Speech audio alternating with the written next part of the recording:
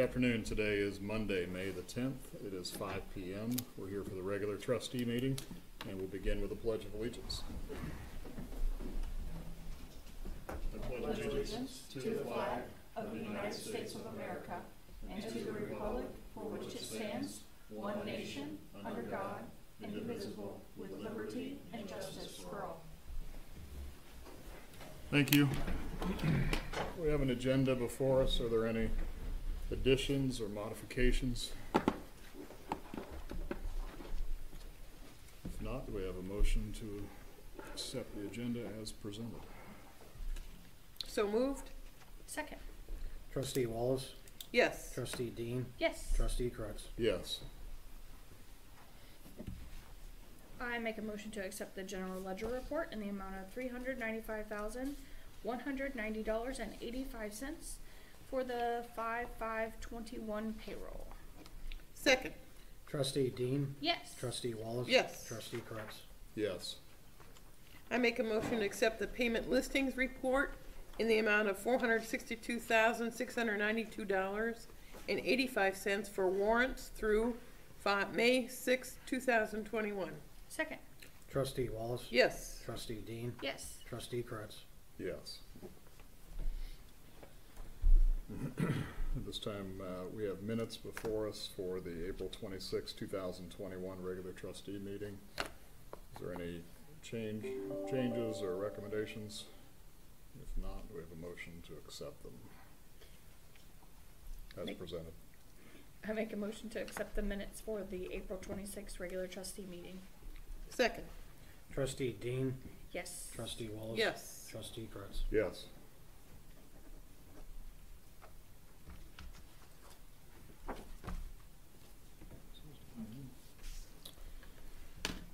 All right, and at this time, we open up the podium to any citizens desiring to speak. You have uh, three minutes, if you can just give us your name and address, and we're happy to listen to you.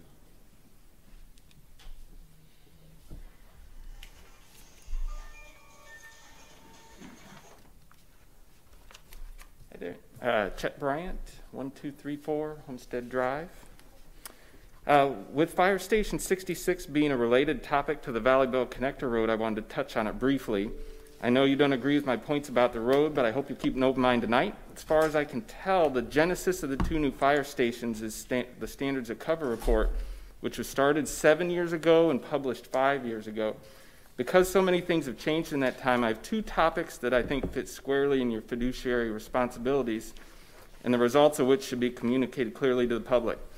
A lot has changed in the years since two additional fire stations were recommended by the 16 report, uh, which used various assumptions and models. Even the census data used is now outdated. It would make sense that a thorough reexamination be conducted to determine if the second of the two fire stations still needs to be constructed. Just some of the reasons include the construction of Station 65 has already rectified the only service area square mileage anomaly, anonym, anomaly, you know what I mean, that existed in the standards of cover report. It is likely that the nine policy recommendations from the report have been implemented and made responses more efficient. Building the fire stations was the most expensive of four specific recommendations to alleviate underserved distribution. It's likely the first three recommendations are in place and have made responses more efficient. Have or can mutual aid agreements with Xenia Station 32 expand to cover more of the southeast corner? Since it's actually closer than Station 64, Station 61 might be able to adequately service the southeast area of the township if its service area is extended south and west as recommended in map 36 of the report. Factors that support this include since the coverage area for the new Station 65 receives significantly fewer calls than other stations, its coverage boundary could move slightly south, allowing Station, Station 61 to, to focus its cover on the southeast corner. The super intersection at Factory will be completed soon, and the upgrade at Trebein and Highway 35 has been funded. Both of these allow for faster response times from Station 61 to the southeast corner. Actual data using the new Station 65 and road upgrades could be collected over the coming year to replace many of the assumptions and models used so many years ago. I have seen you save taxpayers thousands in countertop and metal plating decisions in Station 65. Here's a chance to just investigate if you could save them millions of dollars. Finally, if the station does need to be built, The second topic should, should be reexamined is if the proposed siting of 66 is optimal for emergency response. From my records request, it appears no standalone study was ever accomplished, and there's been a very myopic focus on ALS response to the far southeast corner.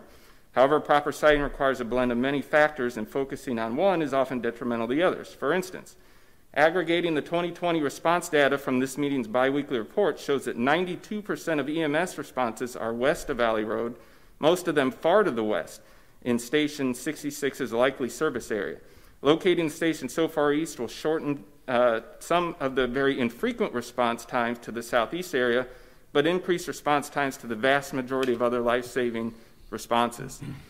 In the 2016 report, the current fire stations, none of them come close to meeting the 90th percentile goals for fire or medical turnout. Looking at all responses in Station 66's likely service area, 90% of them will be west, and most are significantly west of the proposed site. Choosing this location will ensure the new station will not even come close to meeting those turnout goals. As indicated in maps 27, 29, and 30, the long-term medical, fire, and service hotspots are far west of Valley Road as well. While I understand the need to respond to all corners of the township, it seems the pursuit of that goal is coming at the expense of metrics that will be critical in responding to the 90th percentile of overall goals. In addition, short, long, and midterm development patterns will result in more calls far west of Valley Road, the placement of the second high school, Russ researchers push to develop their campus, and even future residential units are likely to be west of Valley Road for the most part. Before construction would begin, it seems prudent to ensure the location of the station is in the optimal location for current as well as projected responses. Thank you, sir. Thank you for your time this evening Thank you. and the last three meetings. Any other citizens desiring to speak this time? Come on up. Okay, we'll close that portion. Um, for those that are in the audience, um, we appreciate all comments that come before us. We are not, um, many times what we do is, especially when we have pre-scheduled speakers, we do not necessarily respond to all comments that come before us at that, at that moment. Um, sometimes we defer them to later in the meeting, um, but uh, we, we try to address those comments if we can and if it makes sense. Um, if it's the same request that comes back to us multiple times, then we do not, um, uh, continue to engage on that necessarily. So, um, with that, we have a pre-scheduled speaker, um, Desmond Sproul with Wright State University, Master of Public Administration, MPA student. So, come on up. Alex, can you load his, uh, thank you. I just wanted to introduce Desmond. Uh, Desmond's been working with us as an MPA, a Masters of Public Administration student from Wright State. We have some illustrious uh, graduates of that program in the room today. Um, he worked on a plan to help us plan for our comprehensive land use update. It's a big project. It's probably about a year-long project. So having a good plan and good recommendations for how to go about that was really important to us. Desmond did some great work. I want to let him tell you about what he found out. So thank you. Thank you. Welcome Desmond. Hello, everyone. Here are the first slides. Okay, so a brief overview of my project. Um, the first part of my project was a focus on reviewing existing literature and best practices on comprehensive planning and citizen engagement comprehensive planning. Um, for this review, I focused on a variety of sources, including consulting professional associations like the American Planning Association, academic publications and journals like the Journal of Environmental um, environmental planning and management, planning websites, and government-related sources like Miami Valley Regional Planning Commission and Greene County um, Regional Planning and Coordinating Commission. Um, in addition to this, I did a review of local township comprehensive plans that have been completed since 2000. And for this review, I focused on Greene County and the counties that border it. However, of these counties, the only counties that had comprehensive plans available online for townships were townships in Greene County, Montgomery County, and Warren County for a total of 10 townships in the review. These uh, two reviews were used to make recommendations for updating the comprehensive plan process. Okay, so what is comprehensive planning? The American Planning Association, defines comprehensive plan as the adopted official statement of a legislative body of a local government that sets forth goals, policies, and guidelines intended to direct the present and future physical, social, and economic development that occurs within its planning jurisdiction. In Ohio, the comprehensive plan also assorts, supports authority for and guides township zoning, with the Ohio Revised Code stating that townships can regulate building size, location, and use in accordance with the comprehensive plan. While this um, statute doesn't require it to be the township's comprehensive plan, it could be a county plan. It's a lot more personalized to the township. It's a lot more useful if it's a township comprehensive plan. Comprehensive planning is a proactive approach to the future rather than a reactive. So during the planning process, you're trying to identify trends to address issues before they become an issue. So if there's a changing economy, you want to plan for that changing economy or ch- changing demographics before it's an issue later on. Comprehensive planning supports coordinated decision making because you're trying to look at different aspects of community in a unified way. So instead of just looking at the economy or just looking at transportation, you're looking at the role between transportation and the economy, like how could you improve your transportation to support economic development? Comprehensive planning can also offer potential savings to the community through more efficient planning. So you might be able to avoid service overlap if you plan out all the different aspects of the community all one time together. Okay, so citizen engagement comprehensive planning. While initial comprehensive, comprehensive planning efforts in the United States in the early 1900s were top down by experts, um, this has shifted over the past several decades towards incorporating substantial citizen engagement in the comprehensive planning process. Common theme through all the literature I viewed from a variety of sources was that citizen engagement serves as a foundation for success in comprehensive planning. You need to keep citizens involved in the process if it's going to be reflective of their needs. Some of the benefits of citizen engagement comprehensive planning, including allowing citizens to play a role in shaping their future community. So while experts have a good idea of the ideal process to produce things and what all needs to be addressed, they can't, it doesn't matter how much education or experience they have, they can't figure out what the citizens actually want. The citizens have to tell them and help shape the process. Citizen engagement also helps increase um, the citizens' understanding of trade-offs required in planning. So while citizens might have a certain need or certain desire, they might not understand why or might not see why government has to make certain, certain decisions that look like they overlook that need, but they're balancing against all the other community needs and they have to operate in a situation where they have limited resources. If citizens are engaged throughout the process and they're seeing those trade-offs play off during the planning process, maybe more, more willing to accept them over the long term. Citizen engagement informs planners of the community's needs, uh, concerns, and desires for the future. So they're not trying to guess them or predict them. They can actually just hear from the citizens here's what we want, here's our priorities for doing it, and this is how we'd like you to do it. It can help build a sense of community um, and consensus throughout the citizens. So you're going to see they at any given citizen engagement event, there's going to be people with conflicting ideas. But under those ideas, a lot of times there's similar goals. Like you want a safer community, a more prosperous community, you just have different ideas how to get there.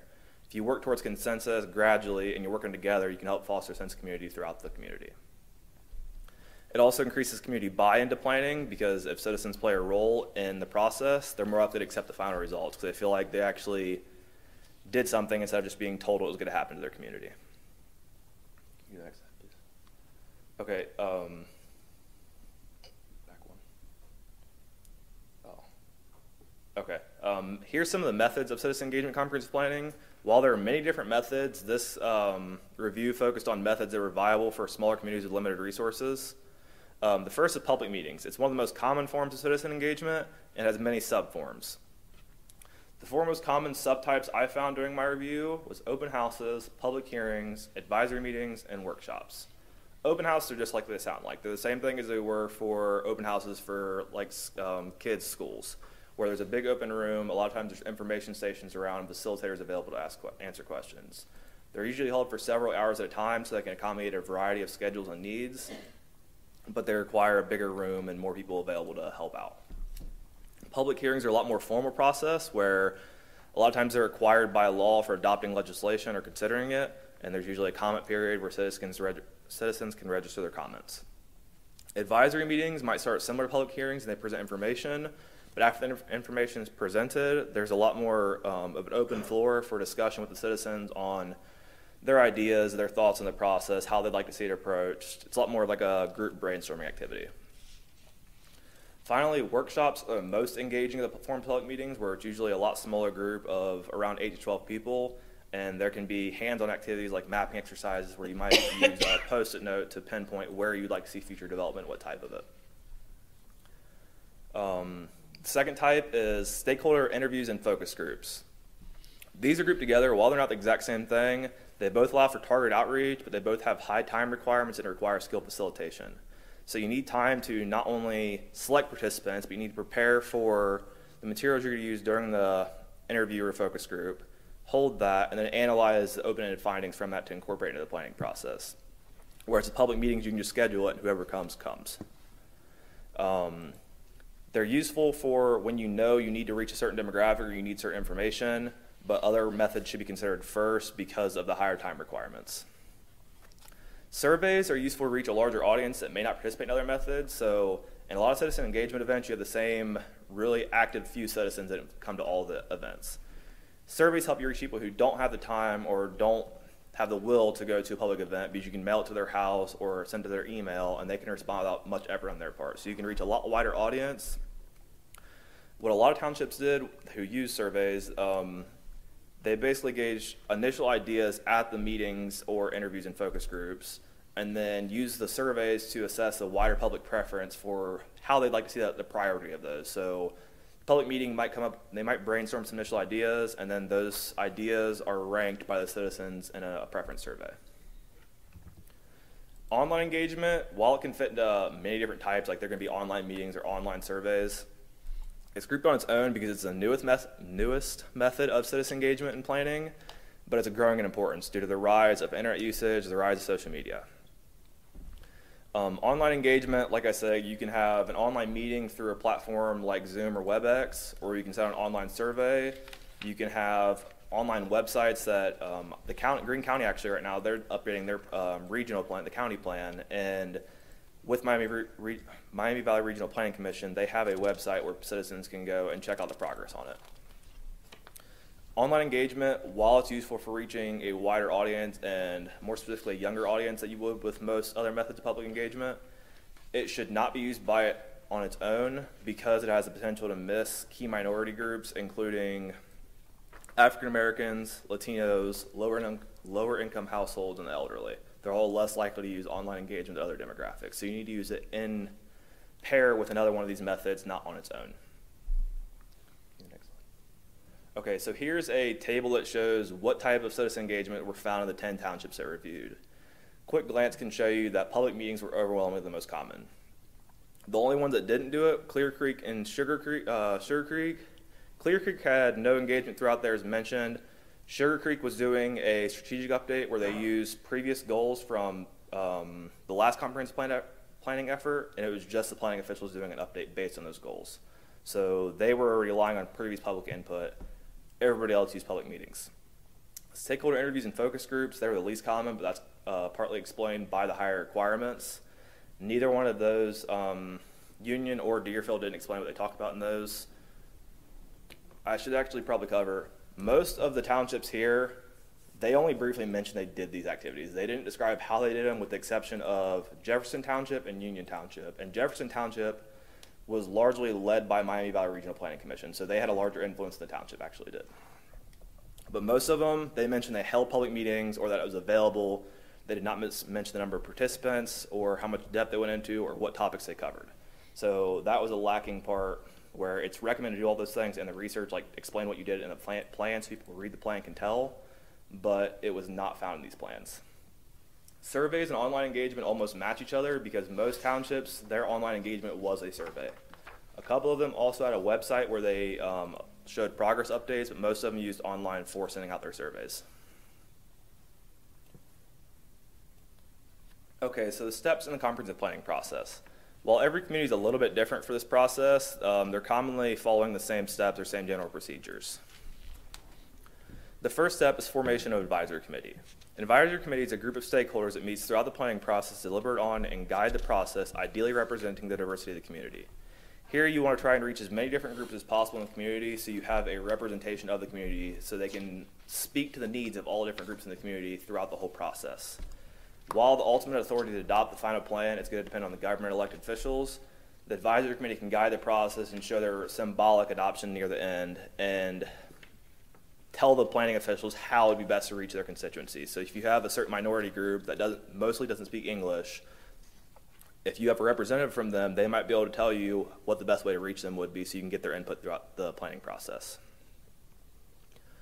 The second step is data collection and analysis of existing, conditions. Here, you want to collect data from a wide range of sources to create a profile of the community, looking at trends and projections for areas like the population, existing land use, housing, transportation, the natural environment, community utilities and services, the local economy, and employment.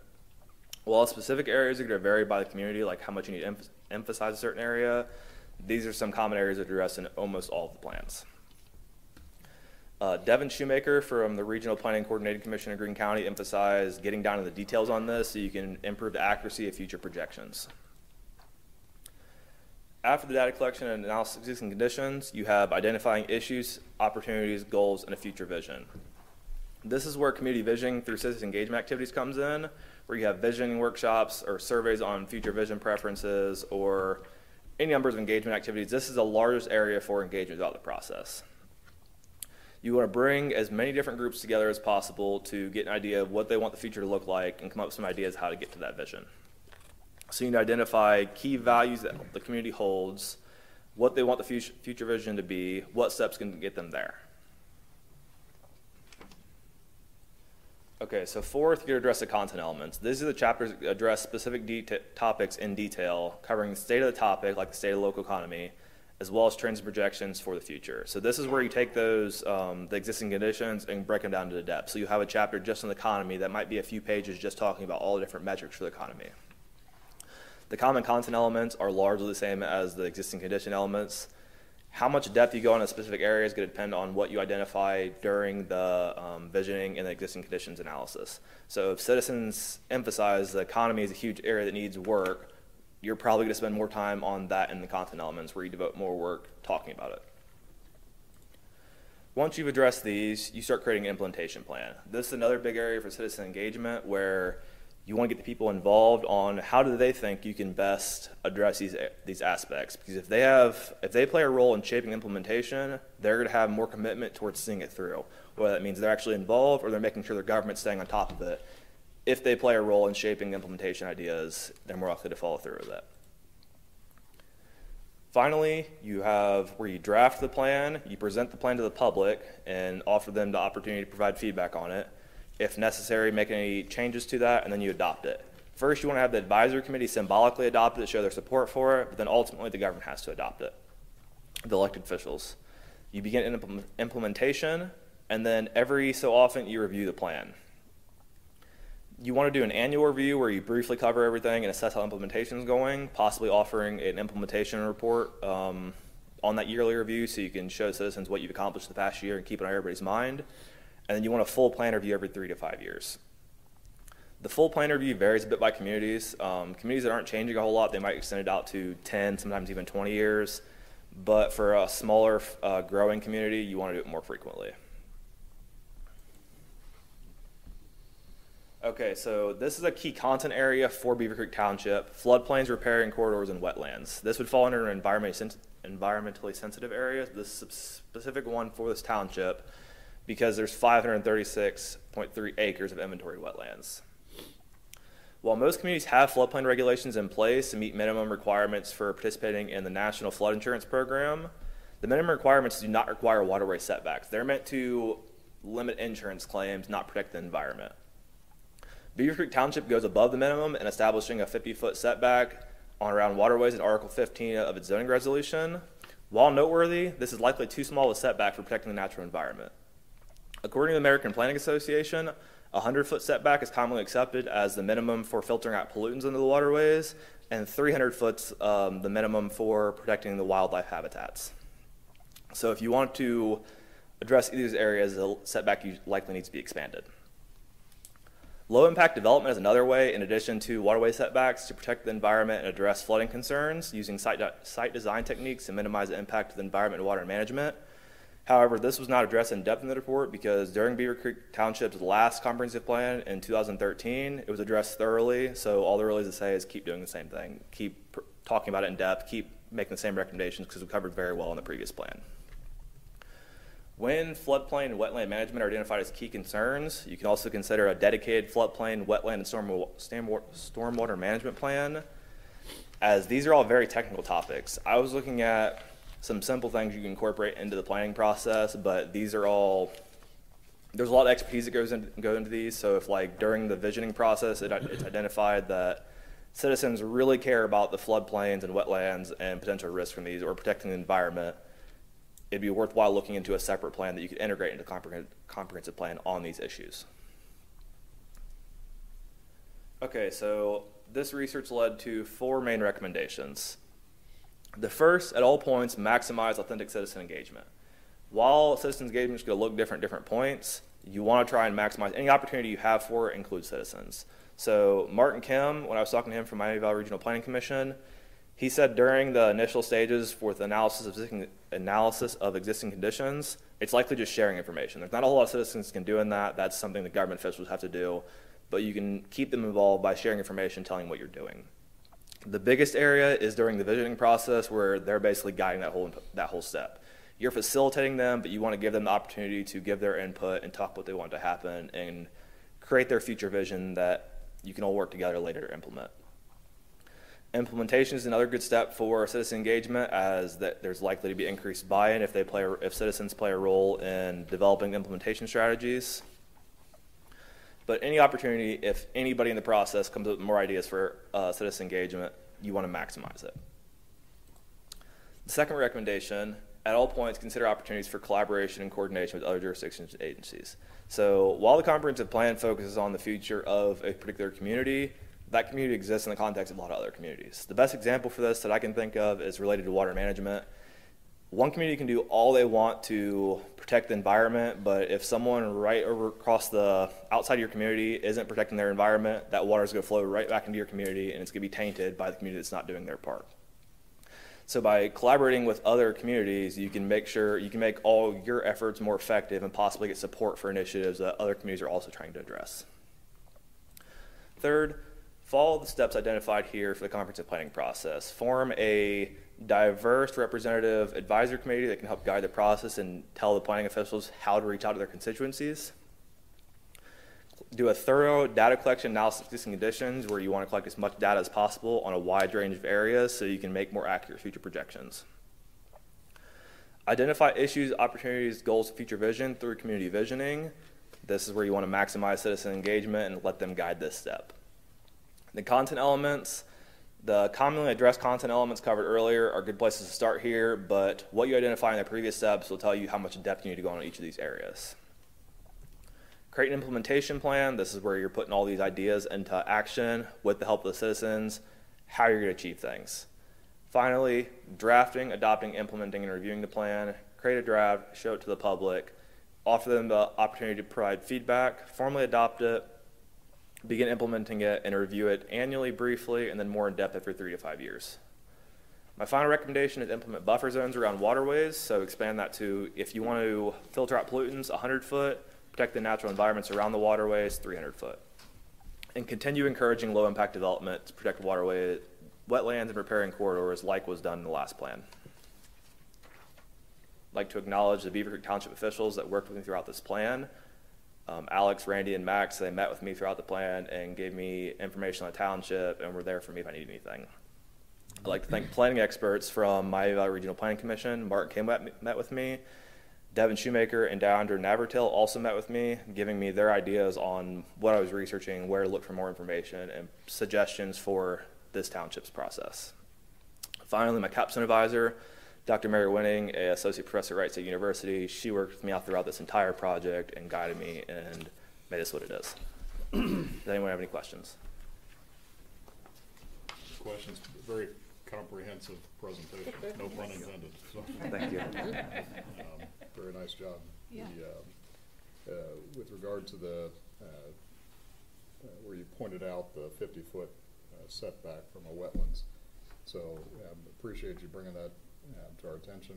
The, uh, in my other life, uh, on a commercial real estate standpoint, I run across um, numerous cities that surround us, um, in fact, that have no requirement Um, and so it, it's actually surprising when they, when you find that out, that it's, it, they rely hundred percent on the EPA to make that determination. So, um, your, um, your recommendation is, uh, should be, uh, considered as far as considering expanding that from fifty to hundred. Um, three hundred, it gets, it gets, that, that create, that can create other complexities. Yeah. That we have to deal with, and it, Yeah, you have to balance it against economic concerns and other issues in the community. and, it- and, it- and you can't have a case-by-case situation, you have to make, you have to, you know, come up with a plan and stick with it, so, but appreciate you bringing that to attention, and, um, that was my personal insight into it, but appreciate the effort you put in, and, and otherwise, it was a, a very good presentation, very thorough. Any comments? Thank you. No, thank you very much Thank for you. presenting, appreciate it. Thank you. Um, as, I would just recommend that when you're presenting, engage or look at us a little bit more. Know you're probably nervous, Yeah. but, um, you did a good job. Just maybe slow it down a little bit and take a couple breaths in between. Thank you. I'll keep that in mind. Thank you so much. You appear to be passionate about what you're doing, so that's, that's a good thing. Thank Might you. be sitting in this seat someday. Yeah. I am my MPA, so. Thank you. Thank you. Thank you. Desmond. Thank you.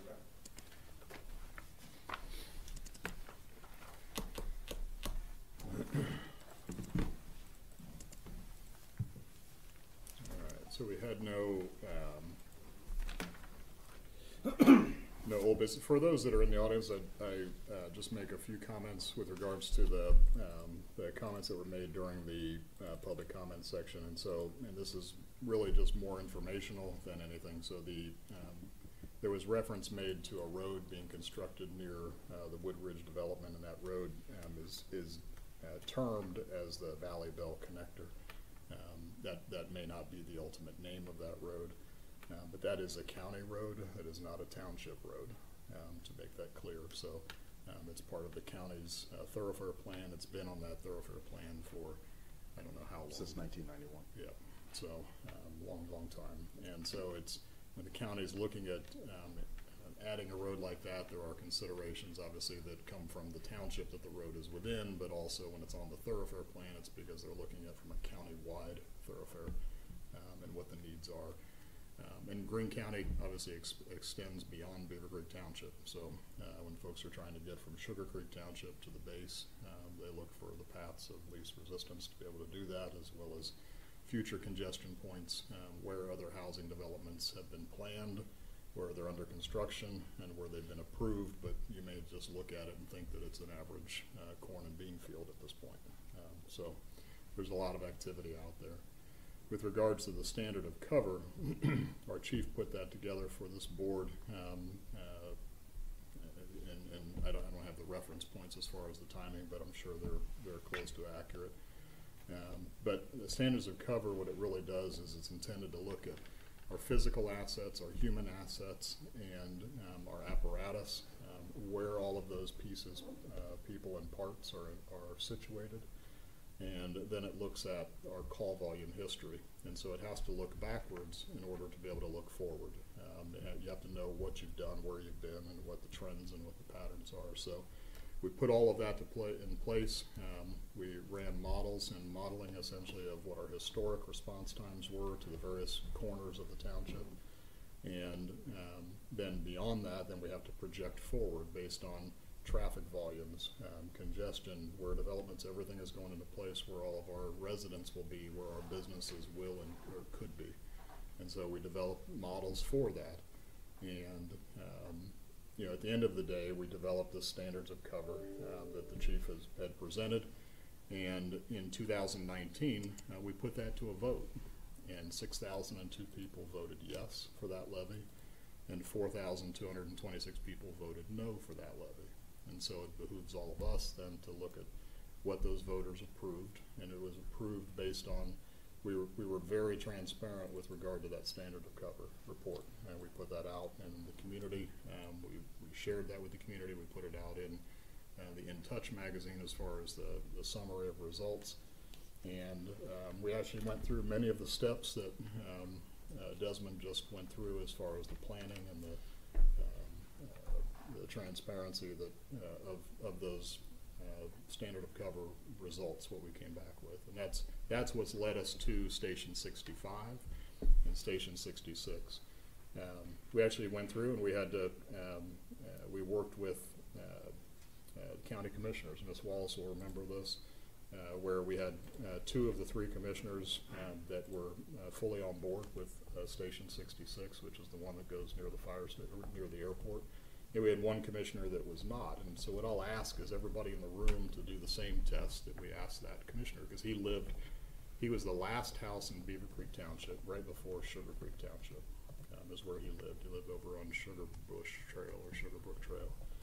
And so, he said, you have Station sixty-four, he said, that's right there. He says, how do you need to, you know, from a response time to get up to Country Club of the North or to Woodridge or to Bexley Hills, um, into those areas, you know, why do we need a station there? And we explained to them that based on the standard of cover, our apparatus, the, the majority of calls that we were getting were to the Greene or to six seventy-five. So I'd ask everybody in this room, um, if you can just for, take three deep breaths if you can. Just consciously take three deep breaths.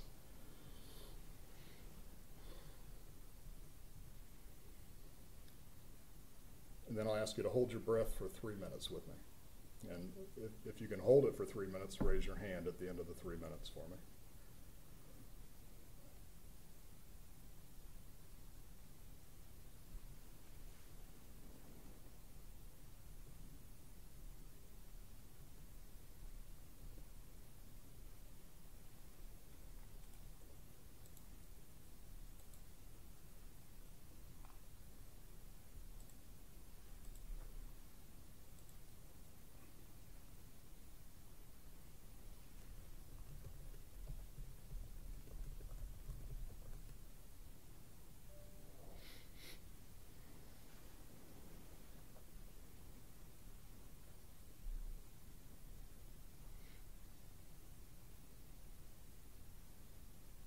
Anybody still holding? Okay, that's why we need a fire station at, uh, the location there at Station sixty-six. Okay. So we'll go on from there. Any old business? We had none. Any new business? We had none. And Greene County Sheriff's Report. Uh, Thank you, Board. On page 11 is the biweekly r- report for the Sheriff's Office. Sergeant Morris here from the substation to answer any questions. I'm glad that you made it. I saw you on the traffic, directing traffic. Yeah, you guys were doing a good job. Any I- awareness items for us or questions?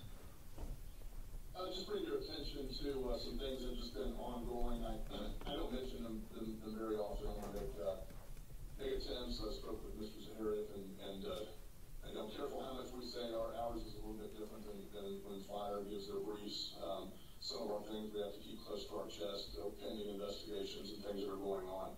But in our continued efforts with our, uh, US thirty-five interdiction and those traveling through, um, just like to point out too, that, that our staff over the past, uh, uh, thirty days has made, uh, two very significant traffic stops, uh, that resulted in, uh, um, a good amount of drugs that were taken, um, weapons involved as well, um, and things of that. So, so the, the efforts are out there and, um, it, it's still very uh, fruitful. We, we've made a dent. We know that we've made a dent through different intel, different, um, task force intel here in Greene County, um, as well as the other ones. Uh, but, but, uh, you know, it's just one of those things you just try to manage. And, um, so the guys are doing a really good job and their efforts are, are noted and, uh, and, uh, we're just, we're just happy to keep, keep at it. In the past, uh, in the past years, we've had, uh, the board has funded specific interdiction, uh, programs, and so, um, again, that, uh, that offer is extended, uh, to work with, uh, your counterparts, and if it's deemed that, uh, the board needs to fund a specific targeted, uh, program, then please come back to us. Certainly will, sir. It's on the radar. You'll likely hear something here soon. Thank you. Any other questions for Sergeant Moore? I have no questions. Thank you. Stay safe. Thank you. HR. Thank you, Board. On page 30 of your packet is the biweekly report for HR, followed by the uh, uh, PWC stats on page thirty-two. Uh, Tricia's on here to answer any questions.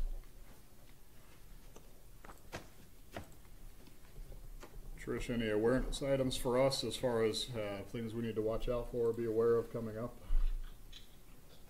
Well, our insurance census, so I have, um, done the proposal back so far, I'm just waiting for the health insurance to come back. And then we'll be scheduling a meeting so that we can review that with the board. So I should have that by next meeting. I definitely have it by next meeting. And what's our anniversary date for our, Um, well, we end, um, the contract, um, that we are under with Medical Mutual on June thirtieth. okay.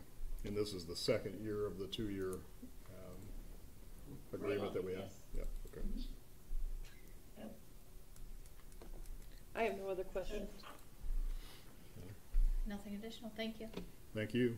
Thank you, thank you. Thank you, Board. Uh, At this time, I'll turn it over to Fire Marshal Grogan. So first of all, thank you for hearing uh, Desmond's presentation. Again, um, um, thanks to, to Max for bringing the, uh, the capstone students on board and presents a, a good resource for, for us in the township. And uh, again, we're definitely going to take uh, Desmond's findings and recommendations, as you said, into account. We look at the comprehensive uh, land use plan in uh, June, July um, of 2020. Um, want to uh, ask that we withdraw the request for the uh, trustees hearing for the zoning case 821. Um, The zoning commission case Thursday night had a uh, split two, uh, two to two decision on a four-member um, uh, commission. And um, they didn't, per our zoning, zoning resolution, they did not take any further action, so we need to continue that meeting. And uh, we'll let you know a date and a time that that meeting will be continued then, so. But there were no further action. But uh, other than, uh, um, uh, we had a, an enlightening start, kickoff to the river cleanup, which uh, the weather has not uh, cooperated very well for the river rangers, but uh, um, they'll be, they'll be working as soon as the river dies off a little bit, so. You have any questions on anything else? So uh, the zoning commission essentially will meet again to conclude, to uh, essentially conclude their meeting. so- Yes, sir. Yeah. And uh, and hopefully can have, uh, and if, and if a fifth member would show up, they can have essentially, uh, that fifth member can or cannot vote. Cannot- cannot, Okay, per the so it'd be zoning Same resolution. four members that would vote again. Okay. Yep. Very good. Anything Any else questions on Mr. the Grogan? bi-weekly? No, I have, I have nothing. IT. Thank you. Thank you, Board. Next item's on page forty-four of your packet is the IT biweekly report. Uh, Just a quick update, uh, we are moving right along on um, the phase upgrade, on the uh, server upgrade. So uh, phase one and two are both complete, and we're about forty-five percent complete on phase three. So uh, we did a major transfer to the new environment over the weekend. We did have some error messages, so they are working to mitigate those and start those up. Obviously, we're waiting till down, downtime because we do provide a twenty-four hour sh- service between our substation and the sheriff's office and our fire department, plus the information that comes through us that goes to Beavercreek Dispatch, Sugarcreek, Bellbrook as well. So we try to limit those uh, downtimes as well. Any questions?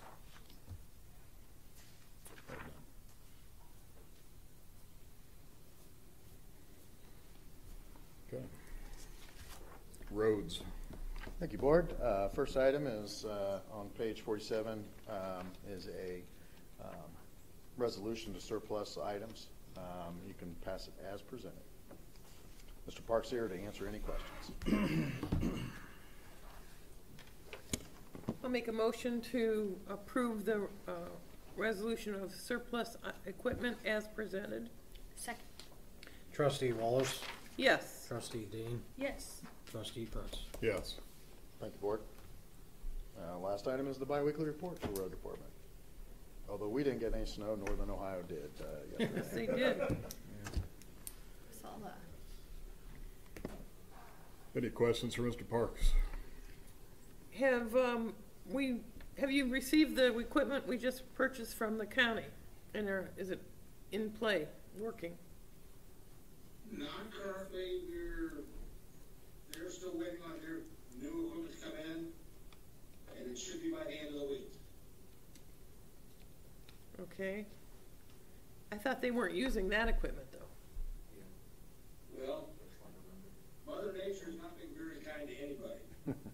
So the grass was getting tall, so it had to be cut. So they're using their old equipment this time around, and I talked to their foreman, and, uh, as of today, their new equipment's mounted on their new tractors. So he's hoping to receive at least one by the end of this week. Okay. Do we have any guarantees if something would happen to the equipment between now and the time we receive it? Do we have a, a guarantee or a policy in place that would tell us, you know, if, if they break it while they're using it? Since we've already looked at it and you observed it in the garage, now it's being used. So do we have a fallback method in case it's not perfect when you, I know it's older, I got that, but since they're using it and it's Right. not sitting in a garage anymore. Yeah, currently they have two, so if something would happen, we'd fall back to the second one. And in talking to their foreman, they will repair whatever before we receive it. All right, that's what I want to hear. Thank you. Mr. Parks, with uh, all of the rain uh, that we've had, any, uh, I know you've highlighted a few, you're checking on erosion control on several different of the projects, but um, any unresolved issues that we need to be aware of? Not at this time. We, uh, all the contractors are doing a fairly good job of, uh, keeping it off the roadways. And so, and the erosion control, you know, like silt fence and those kind of things are in place, so. Okay. Okay. Any other questions for Mr. Parks? I have none. I had none. Thank you. Fire. Thank you. Thank you. Chief?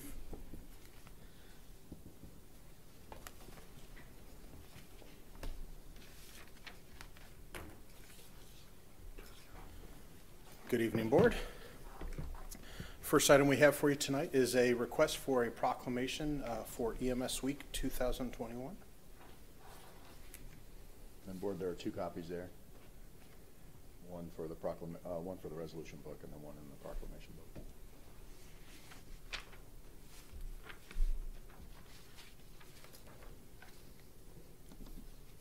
Do I need to read the whole thing? You could do it as presented. As presented.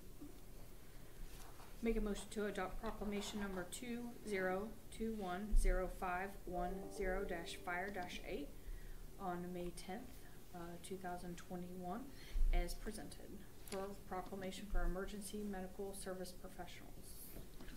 Second, Trustee Dean, Yes. trustee Wallace, yes. trustee Kretz. Yes. Thank you. Thank you, Board. And with that, I'll extend an invitation. Next Wednesday and Friday evenings, we'll be having our annual open houses. Uh, They will be COVID compliant. Um, I don't know exactly how they'll be set up, but the crews are working through the details on that. Uh, They will follow the similar format to what we've been doing uh, recently, which is uh, neighborhood style, so 63 one evening, 64 the other evening. Uh, They'll be running from 6 to 8 o'clock those two evenings. Do you know which evening is? Uh, yeah, I'm sorry. Station sixty-three will be on Wednesday, the nineteenth, and station sixty-four, Friday, the twenty-first. Great. I'm sorry. If I have the right year on, I have the wrong year on my resolution And the number, so I- times again. hopefully I was looking at the right year on the 68. calendar. And the Six to Six to eight each evening. Yes, sir. And what, when, which one is? Uh, 63 is sixty-three is Wednesday, Okay. and sixty-four is Friday. Okay. I don't know if they flip a coin or how they work that out. That's what I was informed. Great. Uh, The community always enjoys this. Yes. Uh, it'll be good. good to see the kids again, so it's been a long time since we've had pitter patter of little feet in the station, so. I think we've got a whole bunch of plastic helmets waiting to go. Uh, the next item is our Station sixty-five update, and the, uh, big news there is they are back on track for a, uh, completion date of August nineteenth, which is the contractual completion date, so they did make up the lost time and are moving forward. Uh, the bay floors were poured last Friday and look really good, so, uh, we're very excited about that. And, uh, we'll hopefully they'll be able to continue on as they've been doing. Helps to be under roof. Yes, sir. During the rain. Especially with an inch of rain, yes. Any other questions on sixty-five? Uh, COVID, uh, the big news there is the Greene County Pod has, uh, finished, so, um, our auxiliary was there through the end of it.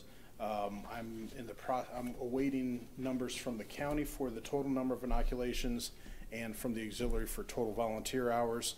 The volunteer hours were, I believe, over thirty-five hundred hours since January, end of December, first of January, uh, which is a huge lift, uh, from our organization to support that. Um, and I'll, again, I'll say, I don't think it would have gone nearly as well without them. They handled all of the people moving, so the vaccinators and the staff there could focus on getting shots in arms. Um, and you can imagine moving people like that is uh, very complex, especially with the restrictions that COVID placed on it. So we also appreciate, we're going to have a list of all of our partners, Russ Research, um, OU being the number one, obviously uh, giving the facility uh, to us for that period of time.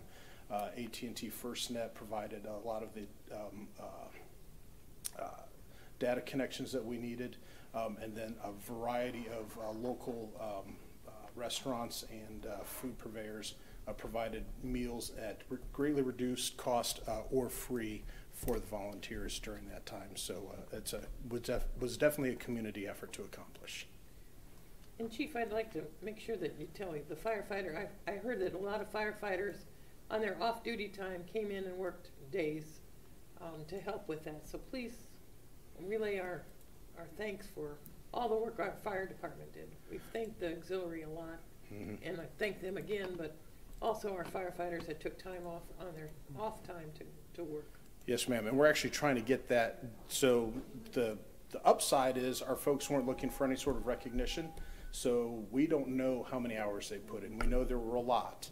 Um, so we had some on duty, we had some off duty. We are trying to get that just so we can recognize them for it, uh, but it'll be up to them to tell us, uh, because it was completely volunteer on their part. But yes, I will pass that along. Great job, though. Thank you.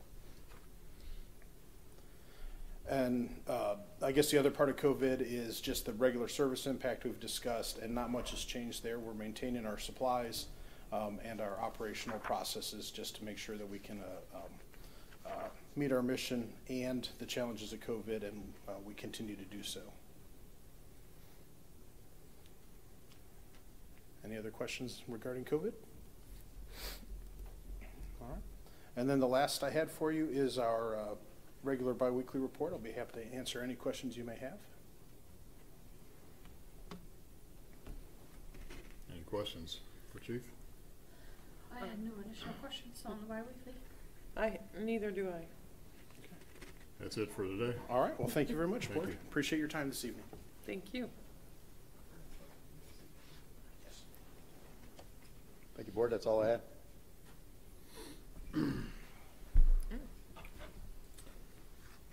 Ms. Frick? Um, I don't have anything for you today. Okay, thank you. Mr. Rushing? Thank you, Board. Uh, For your consideration, we do have one resolution to authorize additional appropriations for the COVID-19 relief fund. This is in regards to several purchase orders that were uh, entered in at the end of the year in 2020. So they were encumbered, therefore they were not included in the available balance because they were already encumbered at year end. Uh, The activity has been taking place on those purchase orders, and those purchase orders have been closed. Therefore, any remaining balance to those purchase orders have, has been released back to fund balance, and the same just needs to be reappropriated to the COVID-19 relief fund. Uh, so as the board knows, the COVID-19 relief fund, that is in regards to CARES Act funds that were passed by the federal government in 2020. We have until the end of this year to spend those. This is not in regards to the American Rescue Plan that the townships were left out of. So this, um, resolution, um, you just need to be, uh, passed as presented. Thank you.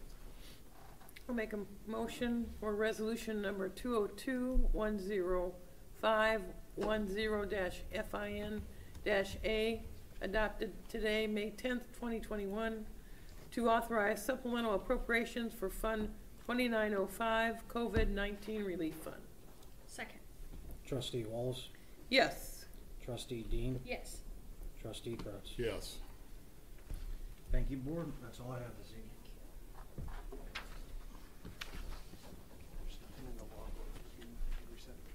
Uh, Miami Valley Regional Planning Commission update?